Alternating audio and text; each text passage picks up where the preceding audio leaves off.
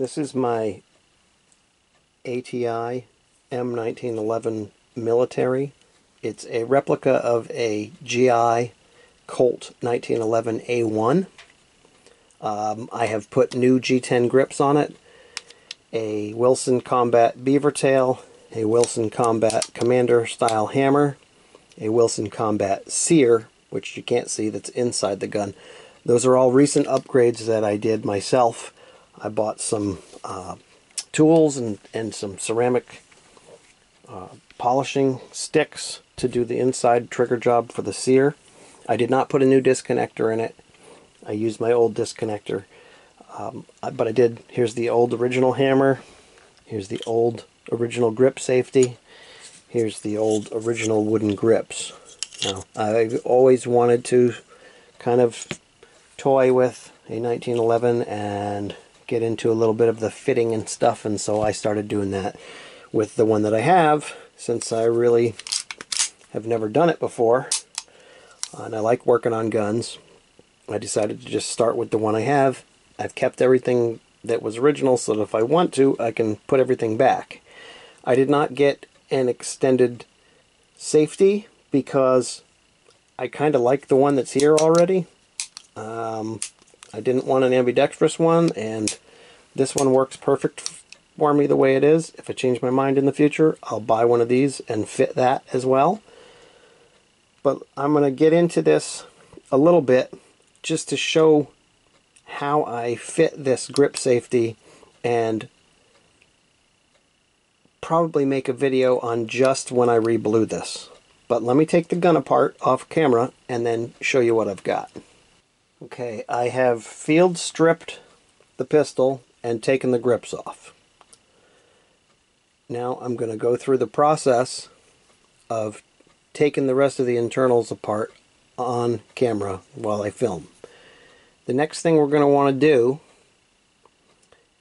is push this mainspring housing pin out.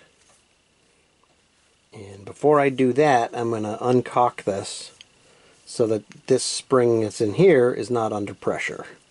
So, you want to make sure you hang on to this hammer and not let it slam forward and hit the frame because it can damage the hammer and it can ding up the frame. So hold on to it and take the pressure off by holding it when you release. So the first thing I'm going to do, I have this little homemade block I use sometimes. Sometimes I just push it out or tap it out. You're going to get a punch the right size. Preferably brass, but right now I can't find my brass punch because I'm filming and things always go sideways when I'm filming. But the point is, get a punch, tap the pin out. Okay, you can see that. It'll push out the rest of the way. Okay, save your pin. I'm actually going to take my little parts tray and put my parts in there for now. This should slide down. You have to pull on it. It's a little bit oily. There we go. Okay. So now the mainspring housing is out. We're not going to take that apart. To take the hammer out and the grip safety, we're going to have to slide that back. Now it's not under pressure anymore. And then to get this safety out, you're going to jiggle this with the hammer back and kind of work it back and forth and pull it out. But when you do that, this plunger assembly, which is two little metal tubes with a spring in the middle, in the middle of this plunger tube, they're going to want to fly out. So you got to keep an eye on that. Now you'll see as I finagle this piece, and you can push from this side as well, all of a sudden this thing's going to want to pop out. Okay, so this piece pops out. Here's my plunger assembly that fell out when I was in the middle of that. I'll put that back together. Set that aside. And here's my grip safety and my mainspring. Okay. Now, to get the get the hammer out on this side, you'll see the little hammer pin right there. Just give it a push. Okay. And you should be able to pull it out from this side like that. And then your hammer assembly will come out. Alright, now the last thing down in here is where your disconnector and your sear go through and this pin right here comes through here and it holds all of that together so that it can move and float up and down a little bit. And if you look, when I move the trigger, you can see the disconnector moving back and forth. The sear is allowed to move up and down in there. Okay, so carefully you want to push the pin out from the right side and if it's been taken out a few times it should probably basically fall right out. So there you go. Now this part, these pieces are free to fall right out now. What I like to do is cup my hand over the back of the frame and turn it over like that to take them out. Now, I'm not going to take the I'm not going to take the trigger out, but if I was, I would push in on the magazine release and I would turn this screw head a quarter of a turn or so until the little tab that's inside here that's attached to that screw is going to come back like this out of the frame and then when you let go of it the whole assembly is free to come out. But I'm not going to do that because I have no reason to take this spring out. All I wanted to show you was how to get the sear and disconnector out. Okay, This is my new sear that I just got. And on the very, very tip, you can barely see a little silver line, a little shiny line right there. That's all I polished. That little polish of that shiny silver line right there. That's it. The sear angles were already cut. I've never done a trigger before or any sear work on a 1911, so I was very careful. I took three, I think, two or three soft rubs on this sear with a 900 grit ceramic stone. Just, and I was looking at it through a magnifying glass, just to rub a little bit of the black material that was there on that angle. Because if you look close, and you're not going to be able to see it on here, but when you look close under magnification, there's an angle cut on the back side and an angle cut on the front side. One is at 60 degrees, one is at 40 degrees. And then this, the holes line up, and inside there, this floats up and down and goes back and forth, interacting with these hooks on the hammer. When it's cocked all the way, they sit about like that. And then when you pull the trigger, this moves out of the way and the hammer falls forward until it hits. Um, when it's at the half cock, it sits in that position right there. When it's fully cocked, it sits under here. When you pull the trigger, this moves out of the way and this whole thing slides forward and the hammer hits the firing pin. So I installed this new hammer. I used, reused my old hammer strut. You have to carefully push the pin out. You don't want to bang on the parts because they're brittle and they can break. So this is all finesse work. If you're not comfortable with it, I suggest you don't do it. Okay, but you can just see that nice shiny silver line right there. I created that by slowly and carefully, just at the right angle, rubbing it on a 900 grit ceramic stone with a little oil then I wiped it off and looked at it again under magnification. Then I took a 1200 grit or 1500 grit, I'd have to go look, stone and just lightly polished it on there. I took the actual sear and just slowly rubbed it again with a little oil. Two or three rubs till it was nice and shiny like it is right now. Okay. And then that's it. I put it back in and it felt crisp. It has a nice break and I know it's safe. I haven't overdone it. I haven't gone nuts on it. It is going to wear in even more over time as I shoot it more. The other thing is this grip safety, you can see on the edges here, I had to file all of this off. I already tested this area right here on both sides in the back. I also had to um, file a little bit off. And on the bottom, on the corners, all these spots where it's silver, I had to file it with a file to get it to fit in the frame correctly. Now the last part of the fitting, actually, believe it or not, was this bottom portion. And specifically these two tabs on the bottom.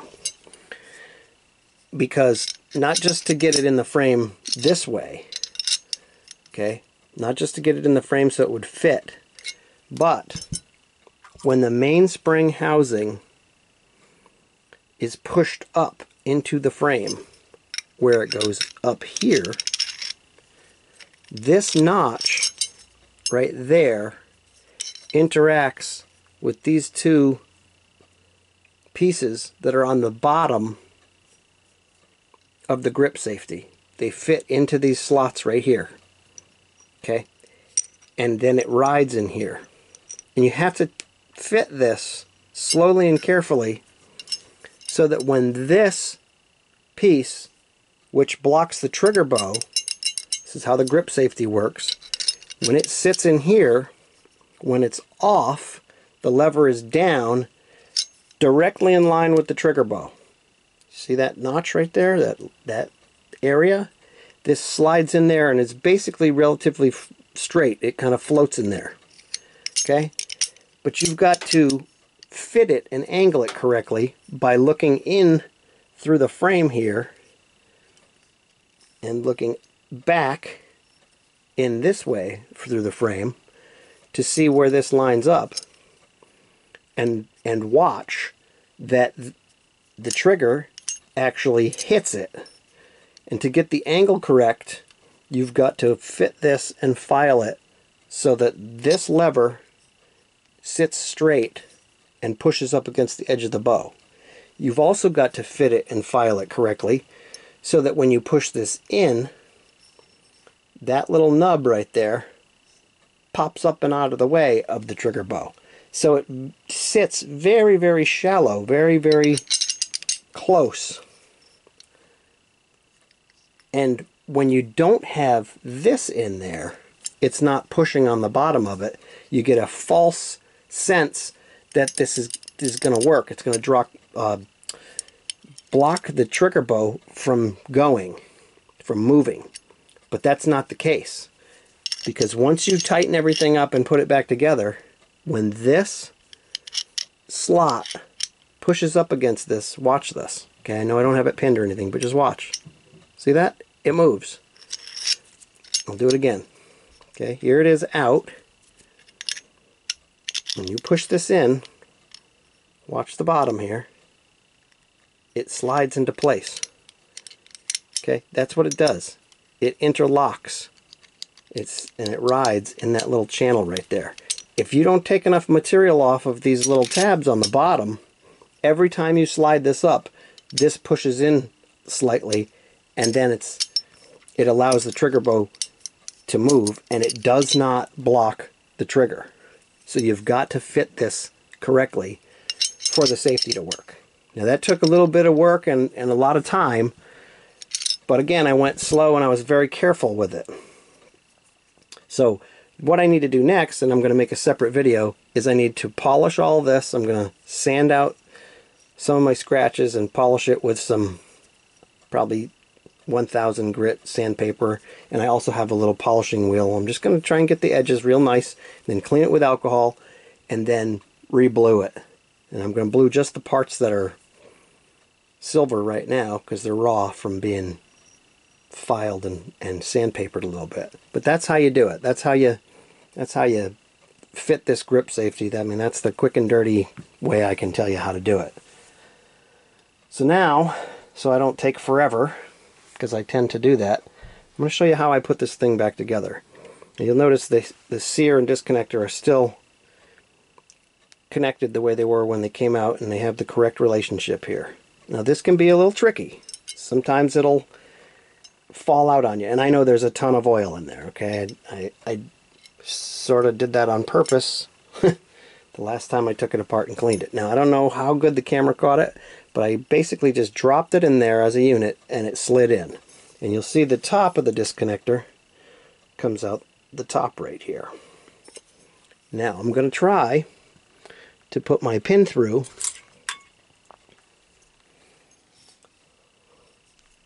without too much trouble. I can see the holes are not lined up. I see one set of holes is lined up. Now you can move the trigger slightly and that will help move things a little bit and then kind of get the, get it started.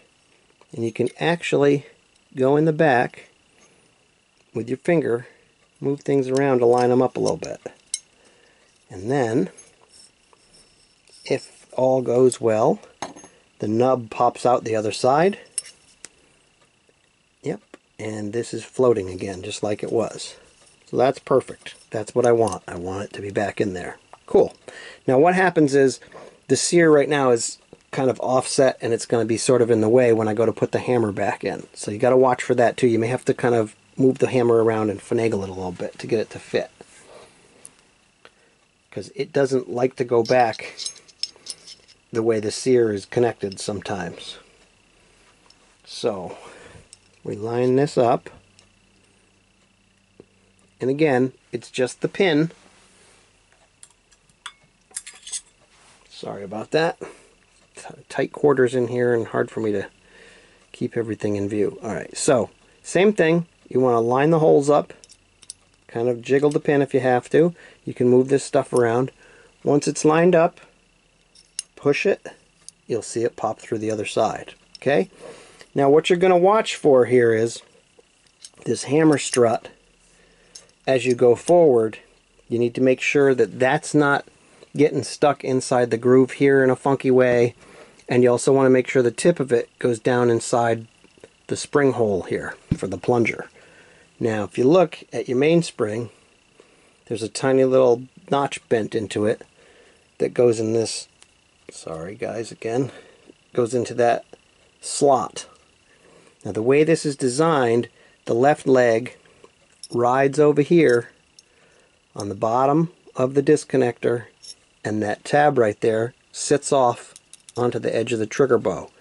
The middle leg rides in the middle right here to put pressure on the disconnector so that it always wants to go back up. Okay, and then this third leg is what's going to push on the side of this grip safety and give it a little spring so that it springs back and forth. So we're going to drop that into place and get a good look at it. Because what happens is as you move things around, this will sort of pop out of position sometimes. And so you want to look and make sure those are lined up exactly the way they are right now. So that the left leg pushes on the back of the sear and the one little knob comes off and then this is sort of pushing on the back and then the middle piece is on the disconnector behind the trigger bow and then this one's bent out for the grip safety. Now what I do, the way I do it, I kind of hold it down with my thumb like I just did. And forgive me if I'm not doing a good explanation, but I'm trying to think and talk at the same time and just assemble it the way I normally do. I take this and I start it on not even halfway, but well, about halfway, let's say, till there's a little tension on it, okay? To kind of hold this in place. Because if you don't, this guy can pop out, can come out of the slot, these things get off kilter, and then you're pretty hosed, actually. So I'm going to take my strut and I'm going to try and line it up with this hole. And again, I'm not going to go all the way in yet because I got to put this in. And you want to try and slide it in. There we go. Now, this is where you got to get a balance of letting this strut float a little bit and still hold this in position and then line that strut up so it gets down in the hole. Kind of like that. All right, now we're going to take our grip safety, okay? Take our grip safety, and we're going to start it in the hole here, and then cock the hammer. But before I do that, the most important thing that I just forgot was I need to slide this all the way up and line this hole up and put the pin back in. Almost forgot that, guys. That's why I always get goofed up when the camera's on.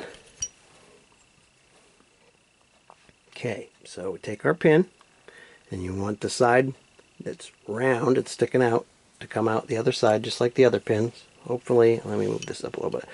You can see this. Okay, I'm actually going to start it just with the rubber mallet. And there we go. It's almost all the way in. I'm going to push it flush.